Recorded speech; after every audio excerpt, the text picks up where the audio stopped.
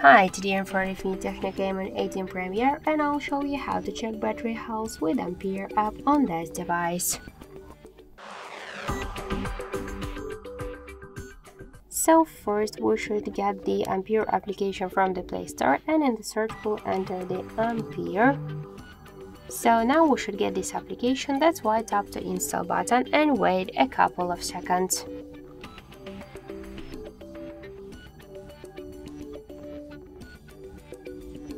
After that, just tap to open the app, click yes, I agree, be closed, and tap to OK on the left down corner.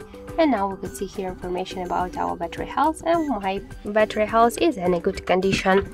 And also we got here more information like the battery health, capacity, voltage, Android version and more other info. So that's it, thank you for watching and if you find this video helpful, leave thumbs up and subscribe our channel.